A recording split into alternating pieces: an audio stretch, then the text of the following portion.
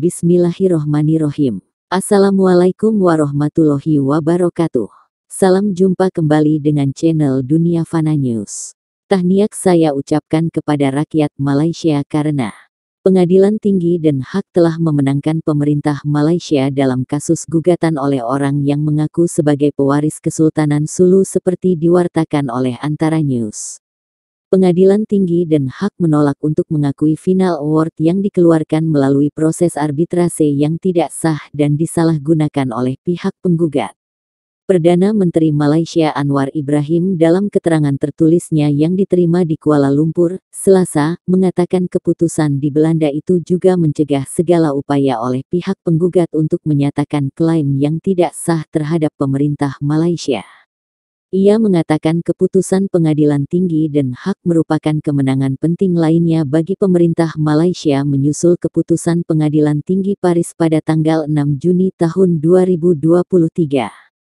Pemerintah Malaysia, menurut Anwar, yakin bahwa dengan keputusan itu, pemerintah semakin dekat untuk membatalkan sepenuhnya final award yang tidak sah dan disalahgunakan oleh penggugat dengan tuntutan sebesar hampir 15 miliar dolar AS, sekitar 225,19 triliun rupiah yang dikeluarkan oleh arbiter Dr. Gonzalo Stampa dan sekaligus menjadikan klaim itu hanya bagian dari sejarah. Malaysia percaya bahwa keputusan pengadilan banding dan hak tersebut, bersama dengan keputusan pengadilan banding Paris baru-baru ini, akan mengakhiri upaya sia-sia penggugat untuk menegakkan putusan akhir di negara lain. Hingga saat ini, kata PM Anwar, pemerintah Malaysia tidak pernah berhenti dalam upayanya untuk melindungi kedaulatan, keamanan nasional, dan kepentingan nasional. Kasus Sulu tersebut membuktikan adanya pelanggaran yang nyata terhadap kekebalan kedaulatan Malaysia yang merupakan hal penting bagi setiap warga negara Malaysia Madani.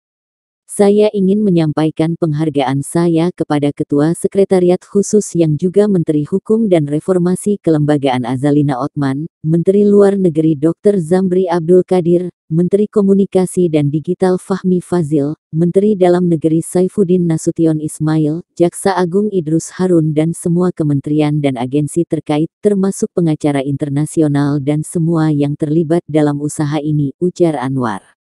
Ia mengatakan pemerintah Malaysia akan meneruskan usaha dengan berbagai cara menentang eksploitasi dan penyalahgunaan sistem arbitrase internasional, termasuk mengambil tindakan apa pun yang perlu untuk mendapatkan kembali semua biaya hukum dari sumber daya keuangan nasional yang harus dikeluarkan dalam menangani tuntutan tersebut.